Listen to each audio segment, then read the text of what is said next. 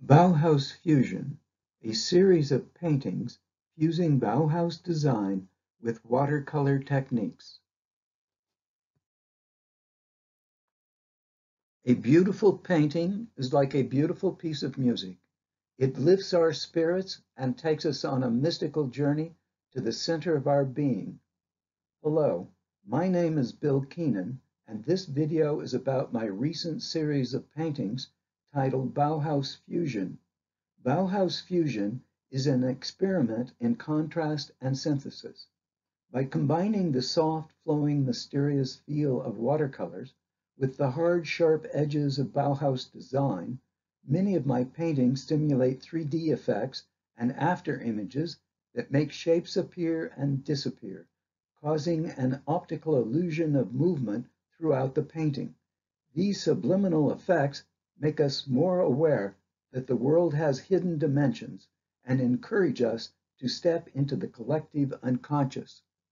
Take a moment and focus on the black square at the center of the painting and notice that there's movement and after images in the peripheral of the painting.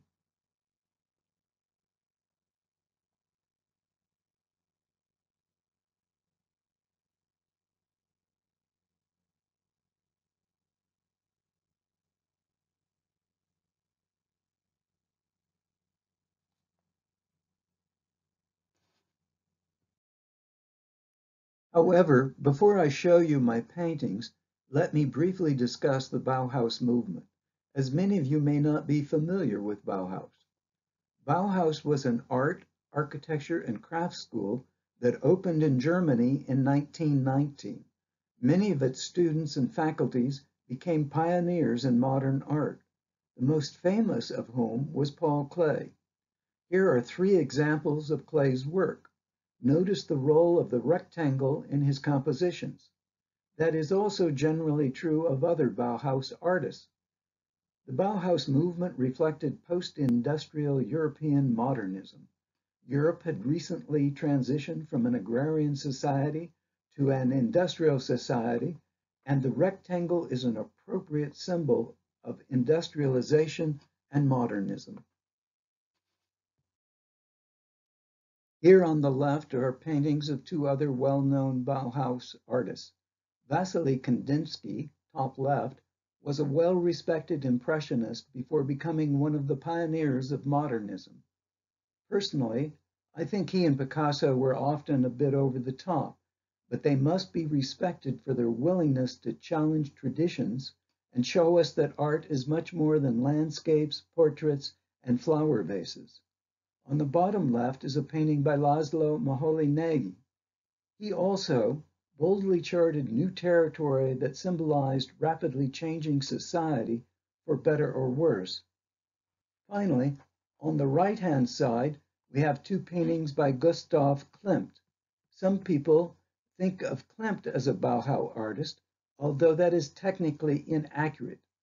Klimt had already passed away a year before the Bauhaus school was established.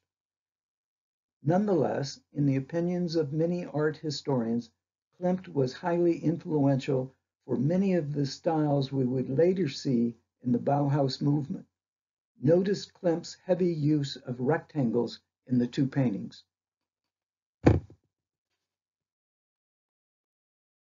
This is the first of my 14 Bauhaus fusion paintings, which I'm going to share with you today. This painting is titled Greek Islands. All the paintings in this series are named after places that have inspired me artistically and left me with enduring impressions of their unique essence. Although I'm an American, my wife Louise and I lived in North Africa, the Middle East, and England for 23 years. During this time, we spent numerous vacations on the Greek islands, which is a truly magical experience. In this painting, I wanted to capture the essence of the Greek islands through Bauhaus fusion. The painting reflects the soft pastel colors that make the island such a relaxing, blissful fairyland experience. My second painting is titled Yorkshire. Yorkshire is a county in the north of England, not too far from Scotland. Yorkshire is famous for the wilderness areas, the Yorkshire moors, and the Yorkshire dales, as well as Yorkshire pudding. The city of York is a charming medieval walled city that is well worth visiting. But it is the lovely unspoiled green countryside which captures the essence of England and will linger in your subconscious for the rest of your days. You already had a peek of this painting titled Roma. Rome, of course, is one of the most beautiful cities in the world. It is historic, sophisticated, and charming. As an artist, I was drawn to the subtle blends of ochre, orange, and salmon. And at least during my visit, most of the Romans were elegantly dressed in black, marking a sharp contrast to the faded but rich colors of the buildings. I was struck by how the Romans could leave a building unpainted for decades, and yet the walls became more beautiful with each passing year. Rome is an undisputed leader of fashion and design, and it is apparent everywhere you look.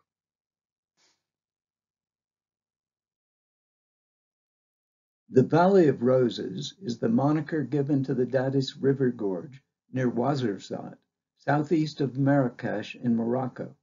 The Dadis River flows 220 miles from its source in the high Atlas Mountains until it joins the Draa River at the edge of the Sahara. The gorge has steep, multicolored walls that rise to 1,500 feet above the riverbed below. Most of Morocco's roses are grown here and distilled into rose water, which Moroccans use to scent their hands before enjoying their famous cuisine. This painting is named for Assisi, a hillside town in central Italy. Assisi is the birthplace of Saint Francis and the location of a splendid basilica named in his honor. However, what impressed me most about Assisi was its centuries-old cobblestone streets lined with elegant stone buildings with uniquely crafted hardwood doors, each one a Bauhaus work of art. Assisi transformed my definition of aesthetics. This painting was inspired by the sights and sounds of Barcelona and the indelible mark of its famous Art Deco architect Antoni Gaudi. Gaudi is best known for his weird Sagrada Familia cathedral, but most people outside of Spain are unaware of his elegant and visionary Art Deco buildings that make Barcelona so special. One of his trademark styles is his sculptures and pillars mosaiced with broken tiles. My painting is an attempt to capture some of that unscripted, free-form spirit.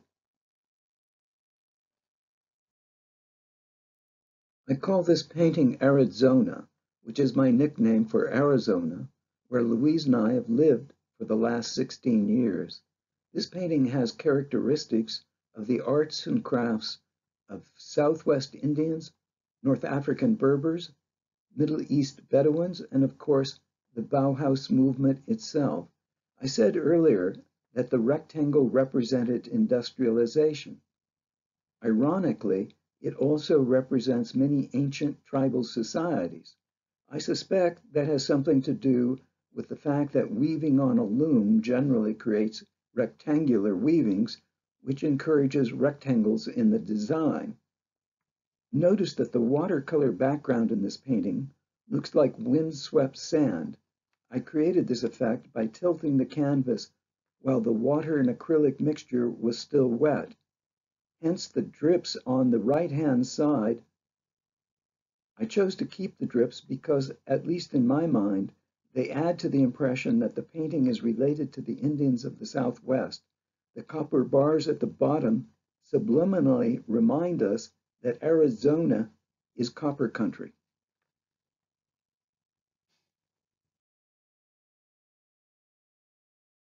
This is a painting of Marrakesh in Morocco.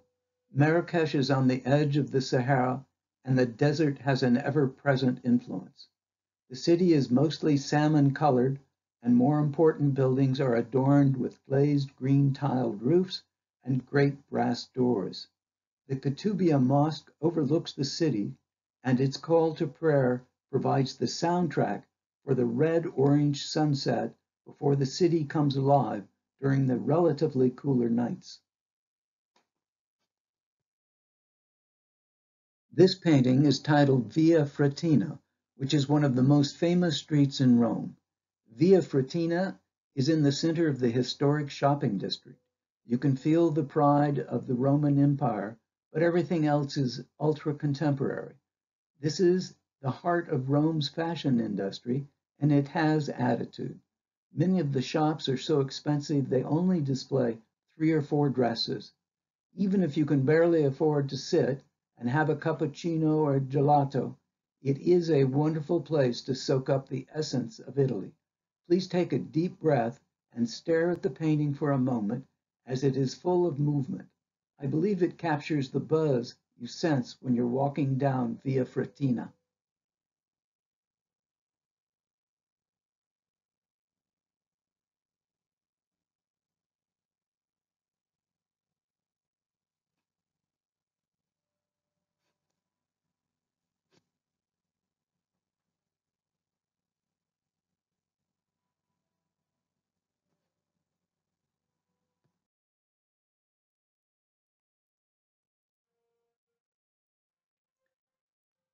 The painting Cambridge Zen is named for Cambridge University in England. It is one of the oldest universities in the world, founded in 1209. The university has some of the finest medieval architecture in the world and is dripping in tradition. Nonetheless, as you sit in its restaurants and cafes, the mood is profoundly modern. That might be because Cambridge has always been one of the world's foremost centers of science. Whatever the case, the students are international, ultra sophisticated, and interested in New Age lifestyles. This painting reflects their less is more attitude that I sense from the students who are riding about the university's cobblestone streets on their bicycles with their books stacked in the basket mounted on the handlebar.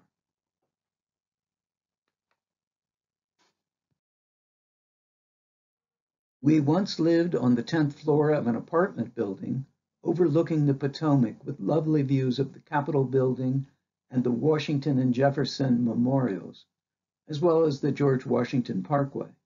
On weekends, we frequently drove down the parkway to Mount Vernon, stopping at the riverside parks along the way. The parkway is always beautiful, but exhilarating when autumn turns the trees gold and orange.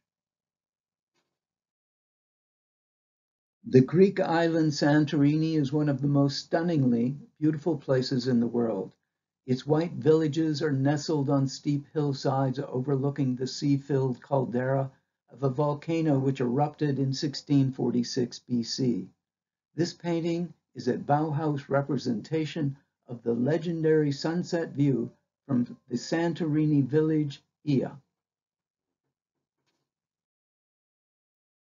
This painting is titled Petra, in honor of Jordan's extraordinary archaeological site of the Nabatean civilization. Its beautiful temples are carved out of vivid pink and gold sandstone. It is believed to have been settled thousands of years ago. However, because it can only be accessed through a very narrow canyon, it became a lost city for hundreds of years and was not rediscovered until 1812. You may have noticed this painting has a similar composition as my painting titled Arizona, except for the fact that the watercolored background looks a great deal like many of the sandstone walls you see at Petra. The, Bedouin, the Bedouins of Jordan and the Indians of the American Southwest have many shared characteristics.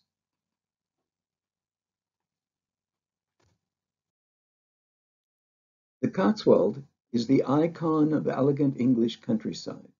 It covers six counties in south central England, including Gloucestershire and Oxfordshire. The land is dotted with thatched medieval villages, churches, and stately homes built of distinctive local yellow limestone. It stretches about 100 miles from Bath in the south to Chipping Campden in the north. The gold in this painting symbolizes the considerable wealth of the Cotswold which was initially due to the early British woolen industry. Wool contributes to the economy, but today most of the sheep end up on the dining tables of the expensive mansions and hotels. Lavender is an important cash crop and one that adds beauty to the hillsides, helping to make it one of England's favorite tourist destinations. If you would like more information on the Greek islands, please visit our website, top10greekislands.com. Also, if you go to our website, keenanpaintings.com, you will find a link to my Greek islands watercolors.